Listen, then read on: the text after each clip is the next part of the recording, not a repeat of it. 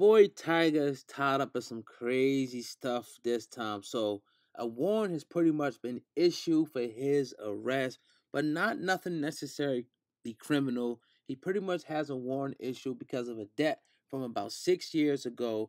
Pretty much, it was somebody at one of the concerts that his company, you know, pretty much was in charge of. They got hit on the head with one of the light poles. They went to court. They got a judgment for about two hundred and thirty thousand dollars. Um, Tyga, you know, never, you know, showed up to court, never paid the debt. So, eh, you know, the judge finally got fed up with him and pretty much put out a bench warrant finally after he missed his latest hearing. And now he owes up to $250,000. That's what accrued interest and all of that. So, yeah, man, pretty crazy story right now. He's pretty much being forced to cough up this money. They wanted him to come to court to pretty much give up his financial records and pretty much make an arrangement to actually pay this uh, person that was hit in the head, you know, once again by a light pole. Definitely, you know, um, found liable in court, had a judgment, and it seems like, you know, he's skipping out, not trying to pay this debt. Now, it's not the first time that Tyga has been, you know, accused of skipping out. We know he had a situation with a few whips over there, I think in uh, either Florida or California. So that kind of is what it is, man. A small thing to a boss. You know I mean? I guess he feel like he really don't want to pay it, but when it comes to the point where they're pretty much putting out warrants for your arrest, they're pretty much now trying to stop you from um, eating at this point until that money is paid up. So let me know what I think in the comment section, man. You think the Tyga should just buckle down and pay the money, or do you think he's going to continue to dodge this, man? If his money is long, I say go ahead and just pay it, pay your debt.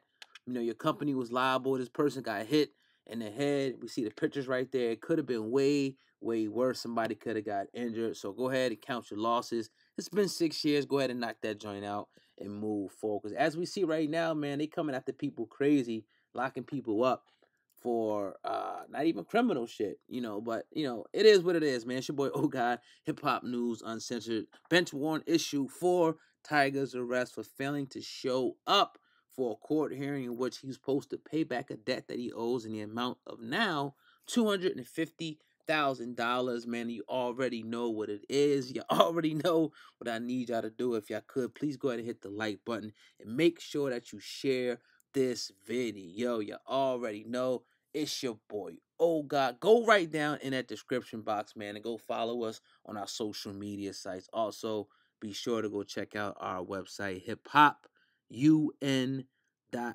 That's hip hop, the letter un dot com for all your latest hip hop news. Shout out to the team over there. Also, shout out to my man Sam Man, Uncensored Truth Podcast, Viral Hip Hop News. We loving it, man. All right, man. I'm out of here, man. Let me know what y'all think about Tyga in that comment section, man. Y'all have a great one. I'm out. Peace.